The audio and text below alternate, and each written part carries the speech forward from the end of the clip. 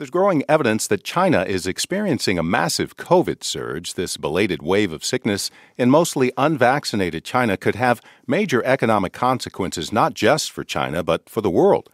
The U.S., like much of the world, relies on Chinese made goods and parts. So, what effect is that having on small businesses here? Are they feeling the pinch?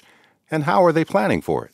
You can look at it either as it's gonna, you know, make your head explode, or you could say it's a game and I'm gonna win. That's William Balash. He runs a third party logistics company called Shipping Solutions Consultants by Quandary, that's based out of New York. Yes, it is frustrating. It is stressful for the customers. My job is to get it done so that to relieve that stress. Our co host A. Martinez talked with Balash, whose business model relies on Chinese made goods. William, what would you say is the number one way the pandemic has affected your business and your work?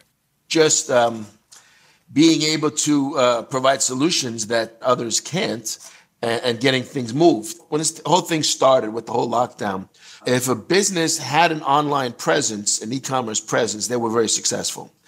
If they didn't, it didn't matter how big or how small they were, they were out of business. So there were some companies that did very well because they they were already positioned for that. What would you say was the number one challenge for you when dealing with shipments out of China?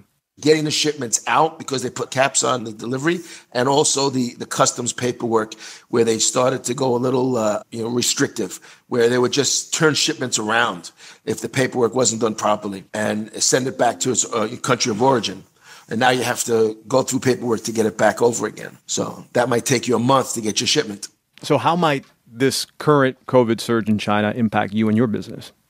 If the factories are shut down, you can't get anything out from those factories. If the factories are operating, there's a way to get those shipments out.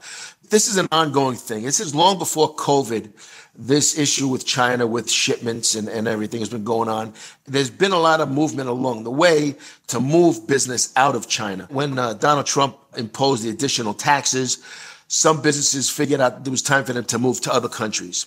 So what I have seen over the last few years is that more shipments are coming out of other countries, Asian countries, as opposed to China, because they figured out that China is, it's always been a big mess, but they never had a, a, a reason or, you know, or maybe a way or whatever it was to move their operations.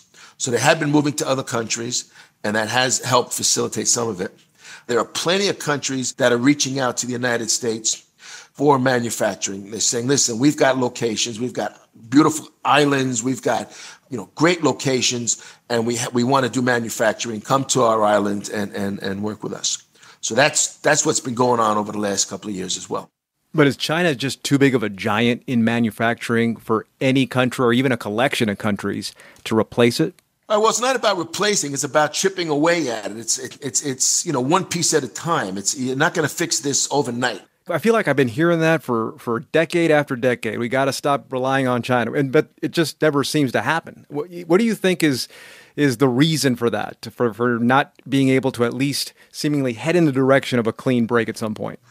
Well, first of all, we're not. You're never going to stop because we're not. We're not quitters. you know. So I mean, it's a matter of replacing. It's a matter of changing it one piece at a time. That's shipping and logistics consultant William Balash. William, thanks a lot. You're welcome.